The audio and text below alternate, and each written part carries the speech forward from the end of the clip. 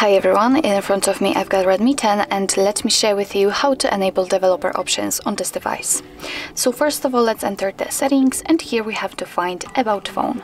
Now all we have to do is to simply keep tapping on the MIUI version and uh, thanks to this we will be able to unlock the developer options.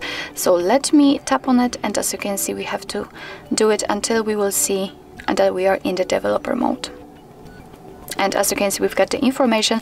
What's more I actually do not have the screen lock. So if you have the pattern pin or password then your device probably will uh, require entering it in order to confirm. So now we can go back to the general settings and here we have to find additional settings. Now let's scroll down and as you can see at the very bottom we've got developer options. So just enter and here we've got plenty of advanced um, settings which we can customize. So for example we can change the window animation scale we can show surface updates. We've got the floating clock, uh, show visual feedback for tabs. Here we've got some options, um, advanced options which are connected to the Bluetooth and so on and so on.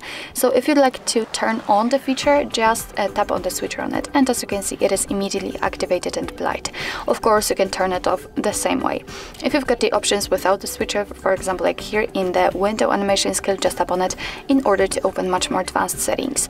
So if you're done with customization of developer options, you have to go to the very top of the list and tap on this uh, switcher to turn them off. And as you can see most of the options are inactive and you cannot uh, personalize them.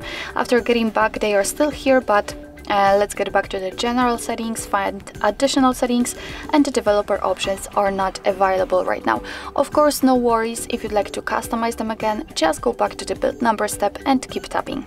So actually this is it, this is how to enable developer options in your Redmi 10. Thank you so much for watching, I hope that this video was helpful and if it was, please hit the subscribe button and leave the thumbs up.